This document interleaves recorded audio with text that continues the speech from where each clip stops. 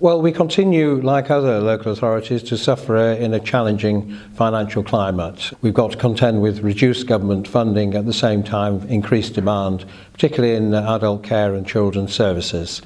So to balance the books uh, today, what we're proposing is to uh, find £25 million pounds worth of savings, use a similar amount of our, our general, our reserves, and also put council tax up as well by just under 5%.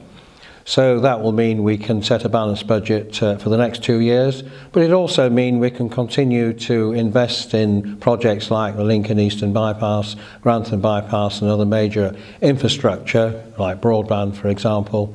uh, and we can continue to provide good uh, services locally uh, without putting people at risk. I also announced today uh, good news that uh, uh, after today's budget, we are making available 9 million uh, for immediate use on the highways network, which will then be considered by uh, a council committee later. So all in all, I think it's a reasonable package uh, of um, making sure we balance the books, not putting council tax up too high, and at the same time protecting our services for the future.